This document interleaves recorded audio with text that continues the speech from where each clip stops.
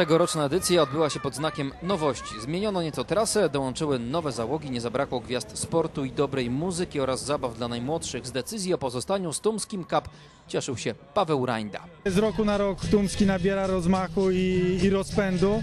E, zadziałał efekt śnieżnej kuli, więc e, jest super. To była dobra decyzja, żeby w zeszłym roku, e, po tym jak Pegas się wycofał, żeby zostać w tej imprezie i dalej ją organizować, bo tak naprawdę mi cały na, czas na tym zależy, żeby Odrę ożywiać i żeby rozwiosłować Wrocław, co tu dużo gadać i to, to, to staram się robić.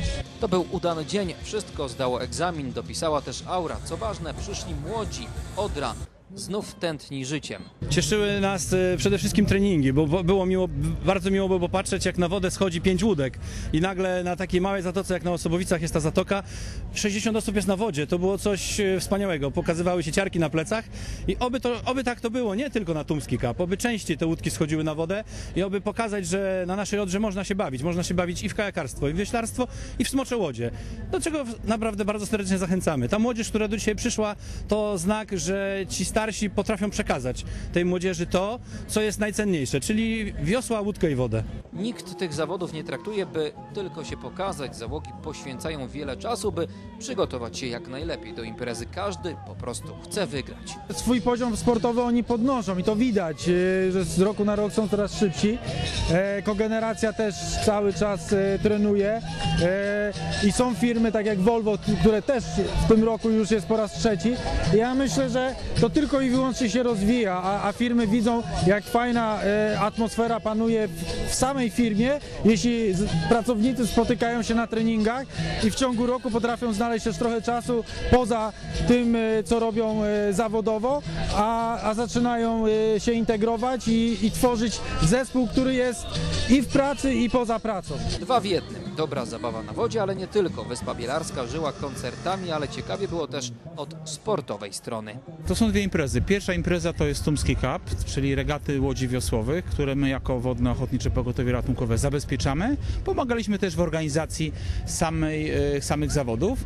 E, Natomiast Druga część to jest festyn zorganizowany e, w ramach e, The World Games 2017, ponieważ ratownictwo wodne jest jedną z dyscyplin sportowych, które będą przedstawiane we Wrocławiu, e, a reprezentuje dyscyplinę sportową właśnie Wodno-Ochotnicze Pogotowie Ratunkowe.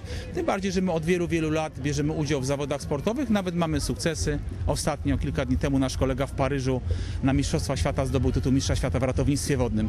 W związku z tym też tu nasza obecność. Osady kogeneracji zdominowały całe zawody wśród ekip profesjonalnie trenujących.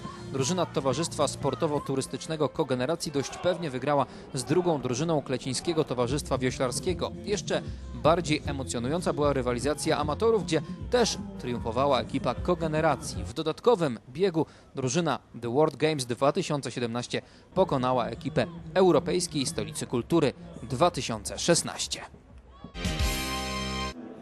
To wyjątkowe wydarzenie dla wszystkich związanych z uczelnią. Nie każdy oczywiście cieszy się z zakończenia wakacji, ale jest czas na naukę i czas na odpoczynek. Tak myślą nie tylko studenci Akademii Wychowania Fizycznego we Wrocławiu, ale też ich profesorowie, którzy jak zwykle licznie zjawili się na inauguracji roku akademickiego. Przed uczelnią na pewno sporo wyzwań. To będzie pracowity czas zarówno dla zarządzających AWF-em, jak i dbających o rozwój intelektualny młodzieży. Akademia jest jedną z nowocześniejszych szkół wyższych we Wrocławiu, idzie z duchem czasu, otwiera nowe kierunki, kształci w nowoczesny sposób. Do tego ma jedną z najlepszych w Polsce baz treningowych. Oczywiście wrocławska WF słynie ze świetnej kadry naukowej. Pracownicy uczelni są największym skarbem obiektów położonych przede wszystkim na malowniczych terenach Stadionu Olimpijskiego. To właśnie dzięki ich zaangażowaniu i pracy uczelnia odnosi sukcesy. Jest jedną z najlepszych, jeśli nie najlepszą spośród wszystkich uczelni wychowania fizycznego w Polsce. Dość pochwał, teraz czas na pracę dla AWF-u. Inauguracja, która miała miejsce w piątek, była wyjątkowo uroczysta. W jej trakcie tytuł doktora honoris causa otrzymał prezydent Światowej Federacji Sportu Akademickiego profesor Galier.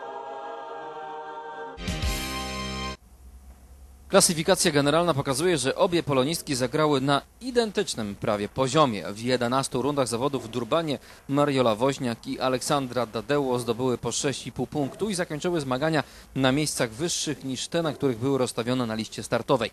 Polonistki rywalizowały w stawce 90 najlepszych na świecie szachistek do lat 16. Mariola została rozstawiona z numerem 18, Aleksandra z 30. Na plus na pewno fakt, że nasze reprezentantki zakończyły start na wyższych pozycjach niż początkowo były rozstawione. Pozostaje jednak spory niedosyt związany ze startem Woźniak. Młoda zawodniczka bardzo dobrze spisywała się na początku turnieju. Grała skutecznie i odprawiała z kwitkiem kolejne przeciwniczki. Głośno zaczęto nawet mówić o tym, że jest jedną z głównych kandydatek do podium. W klasyfikacji generalnej przez kilka rund była klasyfikowana na drugim miejscu. Pierwszą porażkę zanotowała dopiero w siódmej rundzie. Niestety w ostatnich pięciu partiach zdobyła w sumie tylko półtora punktu. Ostatecznie zgromadziła 6,5 i została sklasyfikowana na 14 pozycji. Tyle samo punktów zdobyła druga z polonistek Aleksandra Dadeło, czyli aktualna mistrzyni Polski do lat 16 miała słabszy początek. Ona złapała natomiast wiatr w żagle w ostatnich partiach na finiszu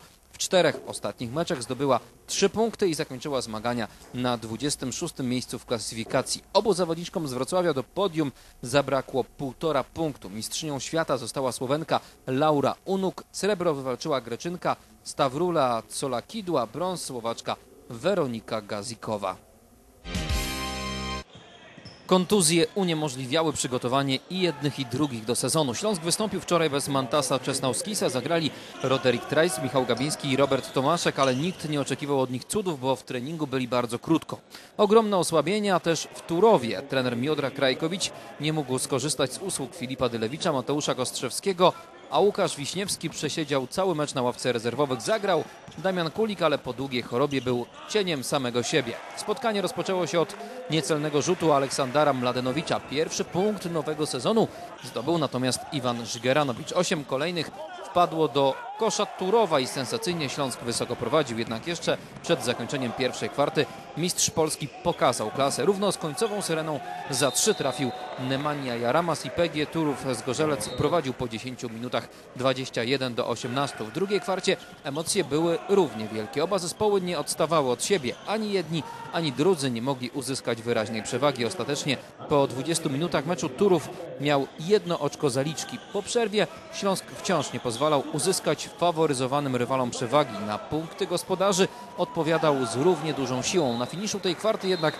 przyjezdni nie wytrzymali naporu. Turów przyspieszył, uszczelnił też obronę i wyraźnie prowadził po 3 czwartych meczu 64 do 57. W czwartej kwarcie zaczęły się problemy z faulami. Za pięć przewinień boisko opuścili Robert Skibniewski i Robert Tomaszek. Śląsk nie był już w stanie wrócić do meczu, tym bardziej, że nie do zatrzymania byli Michał Chyliński i Nemanja Jaramas. Obaj zdobyli łącznie 44 punkty w zespole Śląska.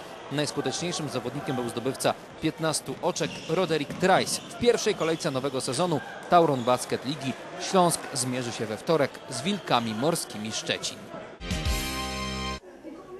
Sekcja judo zaprasza nowych wojowników oraz oczywiście wojowniczki, bo to właśnie dziewczęta z sukcesem walczyły na matach w Warszawie.